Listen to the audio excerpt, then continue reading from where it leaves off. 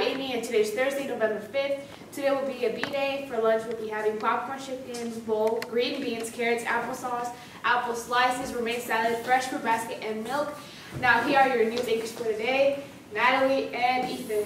Do you stay after school and take the bus home? If so, we have great news. There will be a bus at 3.45 and a bus at 5 o'clock every day that Sun meets this year. We also have a bus on Wednesday after school. Middle school students who want to attend a high school event, athletic event must attend with a parent or guardian. The high school administration and security will begin enforcing this expe expectation next week. Outdoor School is running the November 7th can drive.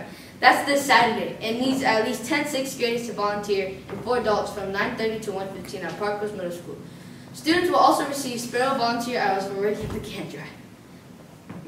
Volunteers should contact Carrie Gothard by email at bigheart816 at yahoo.com. Please also tell your family and friends to bring their empty pop cans and water bottles to the middle school.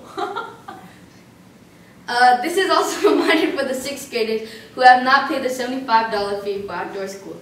So please take your payment to the office by October 30th. If you still have not received your iPad from your homeroom teacher, please make sure you have brought back your blue signature packet with all the necessary signatures. You have paid your 15 insurance fee for the school year and that you have an iPad case. If you aren't sure why you don't have an iPad yet, you can see Miss Sarah in the Media Center to check on it.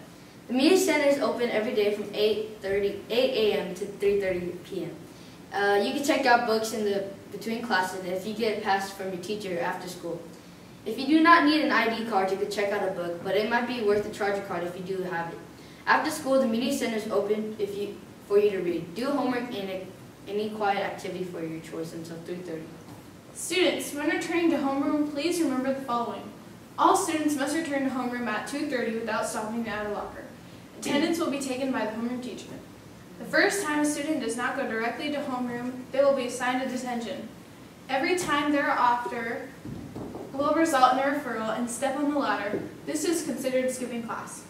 Don't forget tomorrow's Future, Future Focus Friday.